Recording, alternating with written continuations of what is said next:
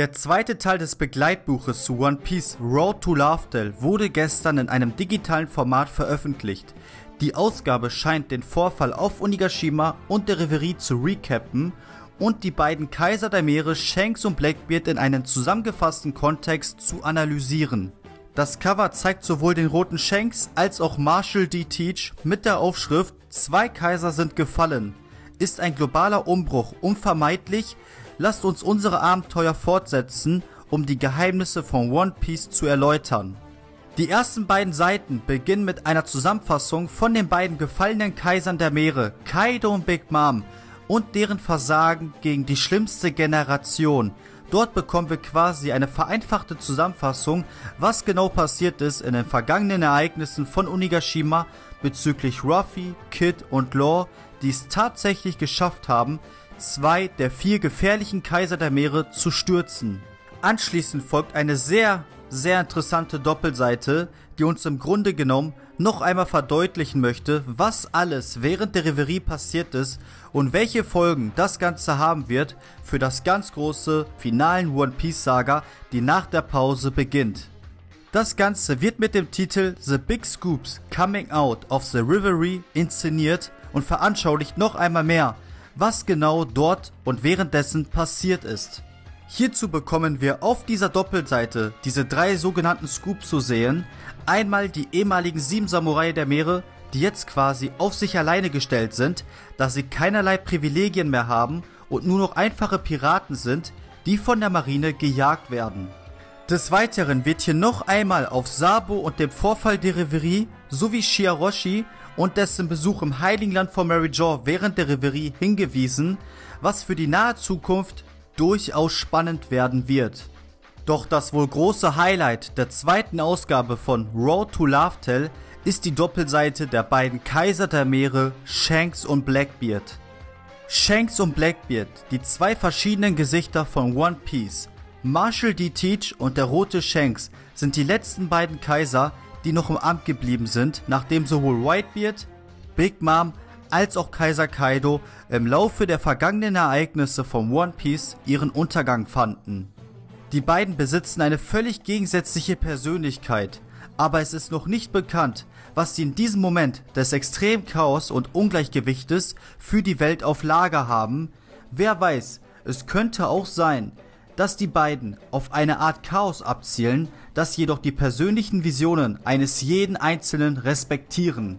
Blackbeard.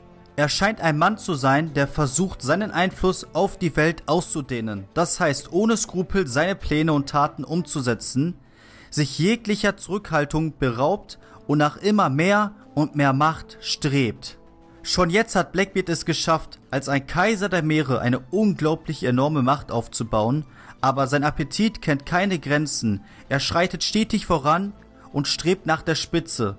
Teach floh von seiner Basis, nachdem er erfahren hat, was während der Reverie passiert war und scheint etwas ins Visier genommen zu haben, vielleicht möchte er diese Gelegenheit nutzen, um zu bekommen, was er will.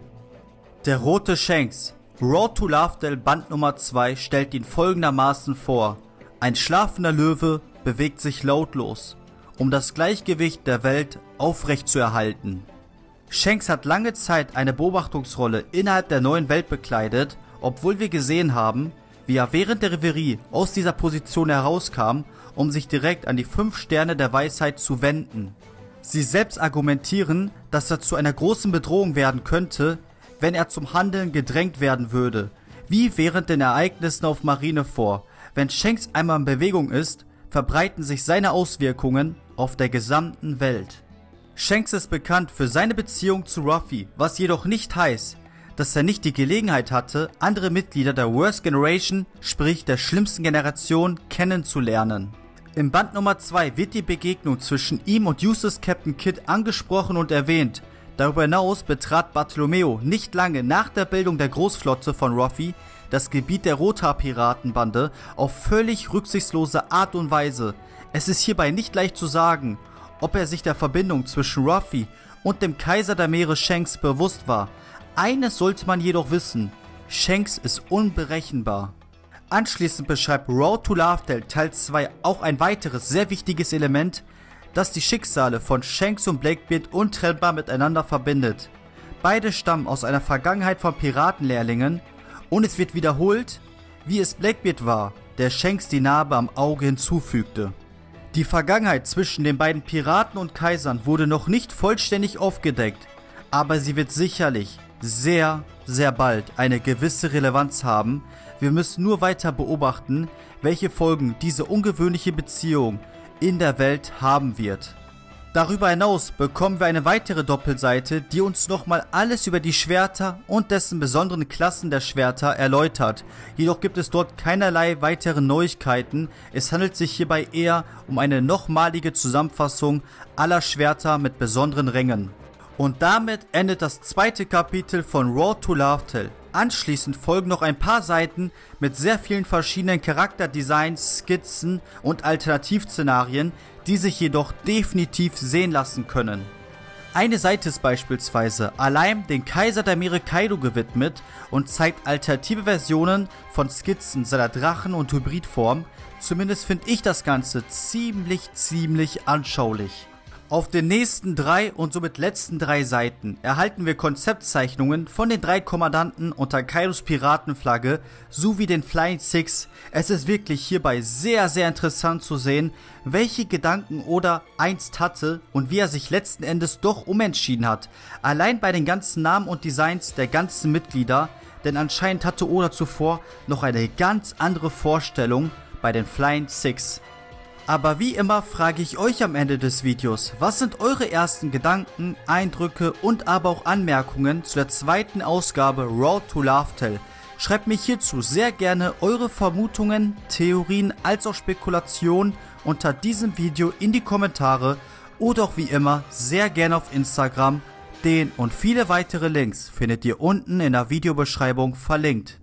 Ansonsten habt ihr natürlich jetzt auch wie immer die Möglichkeit, mir sowohl ein positives als auch ein negatives Feedback zu unterlassen und für weitere Unterstützung auch sehr gerne ein Like oder einfach allgemein ein Kommentar. Und wenn ihr neu auf meinem Kanal seid, dann lasst es mich doch wissen und schreibt unter diesem Video in die Kommentare, dass ihr neu seid, damit ich jeden von euch herzlich willkommen heißen kann. Ansonsten würde ich jetzt sagen, ich bin raus, euch noch einen wunderschönen Tag, einen wunderschönen Abend, wie auch immer meine Freunde euer Skype hier, One Piece.